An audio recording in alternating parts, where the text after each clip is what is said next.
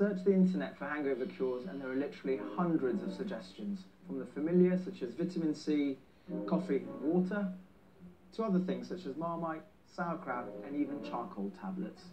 But despite the huge public interest, there's actually been very little research into hangover remedies. Which is why perhaps everyone has their own favourite. When you get home at the end of the night, drink loads of water. Cook breakfast with fat coke. So what is the best remedy for a hangover?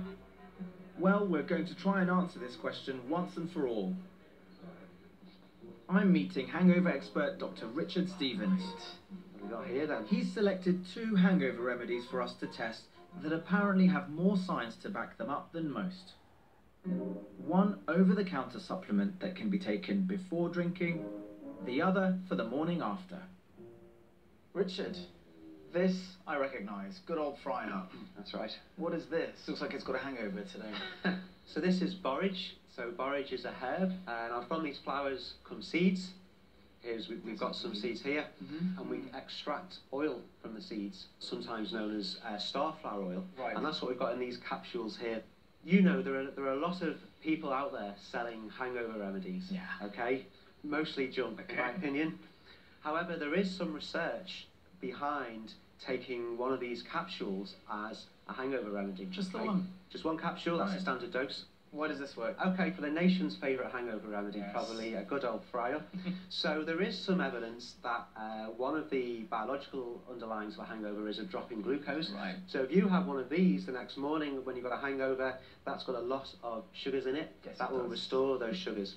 So tonight we're going to get some volunteers. We're going to be dosing them up with alcohol to a, a, a set blood alcohol level, and then we're going to see what their hangover is like in the morning and whether these uh, have made any difference. I know which group I'd like to be in. yeah, I'd be, I'd be with you. To test these two hangover remedies is going to require some serious drinking. And I thought where better to organise a piss up than in a brewery. This is Arkell's Brewery in Swindon. And we've invited the workforce to take part in Richard's experiment. Team Green, you can put one of these armbands on, please. Thank you very much. We're first splitting up the volunteers from the workforce into three separate groups. There we go. Blue team, you are our breakfast group. You'll be having the fry up in the morning. Good? Yeah. Yellows, you are our control group. I'm afraid you're not getting anything. Yay. Yeah? And greens, you've guessed it, you are going to be the borage group. So you are going to get some borage before we start drinking. Hooray! Great, let's go. Whereas the fry up is designed to replenish low glucose levels and is eaten after we have felt the effects of alcohol, borage is taken before drinking as a preventative measure and relies on the fact that it's rich in a particular fatty acid that's an anti inflammatory. Okay, drink away. Enjoy. Wait a minute, wait a minute.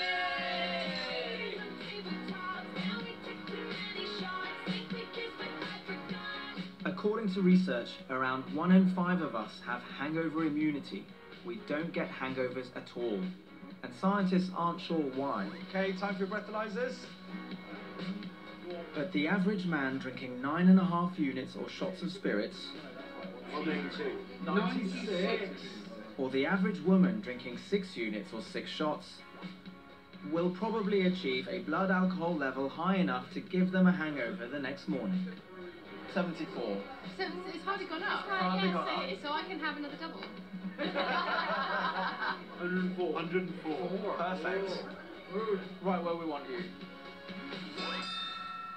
It's time for some taxis home. Richard, it's the end of the night, and I think we've achieved sort of some good high alcohol levels there, have we? We have. So we were aiming to dose our volunteers to 0.10% blood alcohol. So we gave them specific amounts of alcohol based on their body weight and if they're a man or a woman to achieve that. And we adjust a little bit as we go along. We give them a drink, we breathalyse. Yeah. Uh, I think we pretty much got there for, for everybody and got them pretty much where we wanted them to be. So we're set to have some hangovers in the morning. We should see some hangovers in the morning. It's 7:30 a.m. Our fry-up group have managed to make it to the breakfast table, but as Richard predicted, they're feeling a bit worse for wear.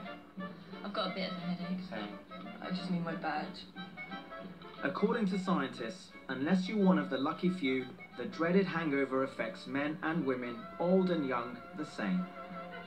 So, has borage, with its alleged preventative qualities, worked any magic? Good morning, how are you? A little bit of a headache. Yeah. Um, little bit, you know, just not quite right. Knock knock. Alex, Morning. how are you?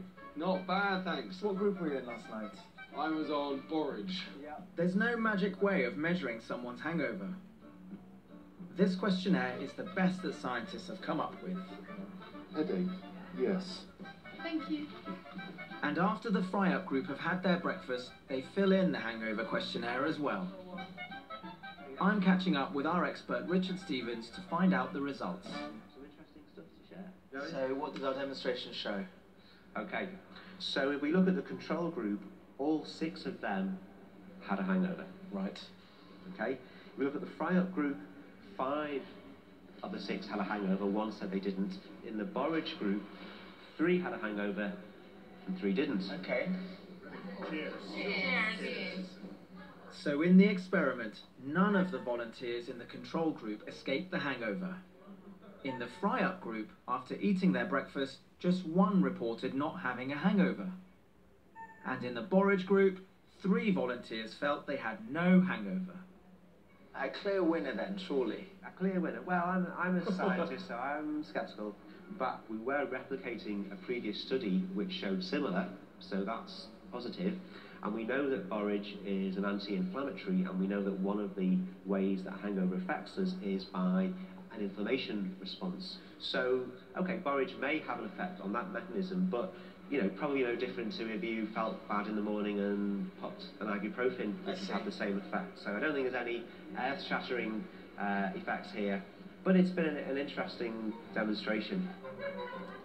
So, if borage works in the way that Richard thinks it does, then it's probably still no better than the ibuprofen you might be taking anyway the next day. And it's certainly not 100% effective.